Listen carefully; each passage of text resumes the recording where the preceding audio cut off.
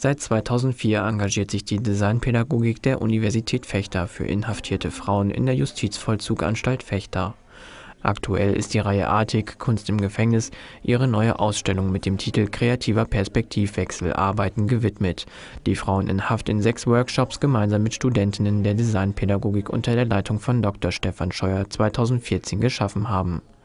Die Ausstellung ist bis Sonntag, den 28. Juni, jeweils donnerstags von 18 bis 19 Uhr öffentlich zugänglich